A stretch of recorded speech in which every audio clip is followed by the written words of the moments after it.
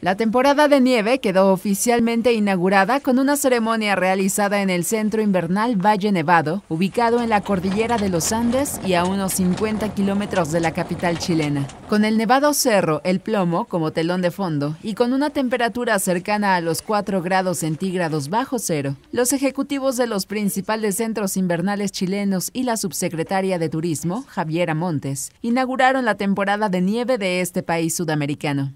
Considerado uno de los centros invernales más exclusivos del país, Valle Nevado fue concebido como una mini ciudad de montaña por un grupo de inversionistas franceses en 1988 y en la actualidad cuenta con hoteles, restaurantes y departamentos, además de 44 pistas y 17 andarribeles.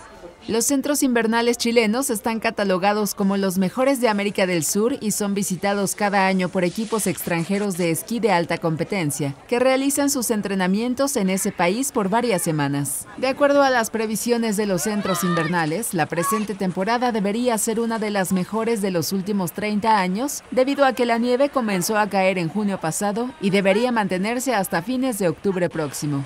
Con información e imágenes de Julio Wright, corresponsal en Chile. Notimex.